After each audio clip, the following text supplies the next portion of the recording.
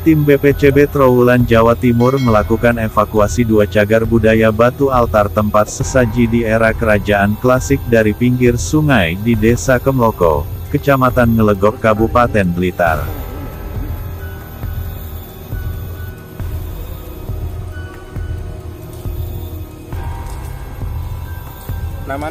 Rencananya altar tersebut akan dipindahkan ke Museum Penataran Blitar. Evakuasi cagar budaya jenis batu altar dilakukan oleh tim Balai Pelestarian Cagar Budaya Trowulan Jawa Timur, dari dasar sungai di Desa Kemoko Kecamatan Melegok Kabupaten Blitar,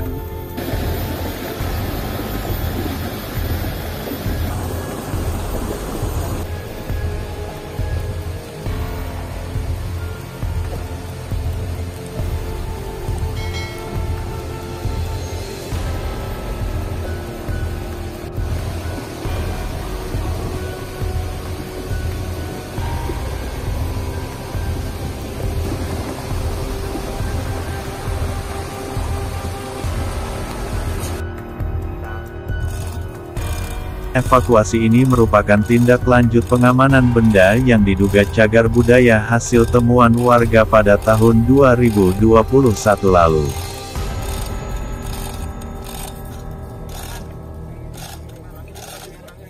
Batu altar ini merupakan tempat pemujaan di era Hindu pada masa kerajaan klasik, Batu altar ini merupakan tempat yang digunakan sebagai tempat sesaji saat melakukan ritual atau upacara pendarmaan tertentu.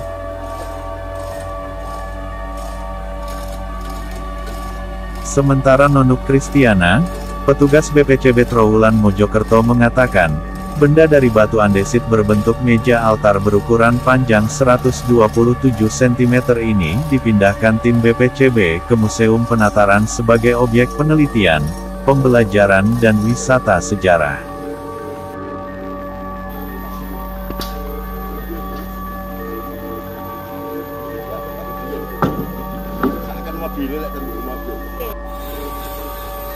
Jadi pemindahan terhadap objek diduga cagar budaya ini kita pindahkan ke Museum Penataran karena kita ber, eh, bertujuan untuk menempatkan objek diduga cagar budaya yang memiliki nilai penting itu ke tempat yang lebih representatif agar dapat dimanfaatkan oleh masyarakat sebagai objek pembelajaran tentang sejarah dan kebudayaan, juga sebagai objek penelitian, serta sebagai objek wisata budaya.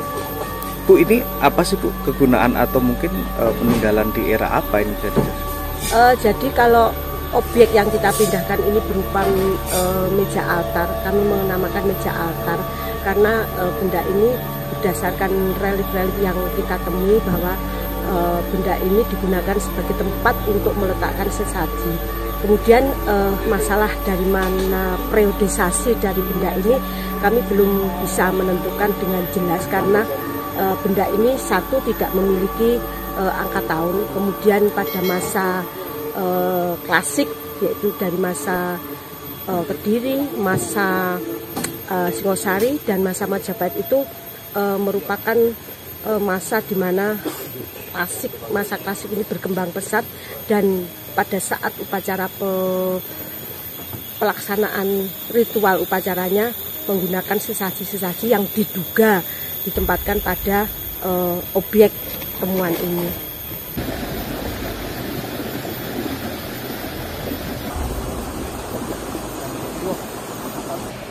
Sebelumnya dua batu altar ini ditemukan oleh warga di sungai desa dengan lokasi yang berbeda.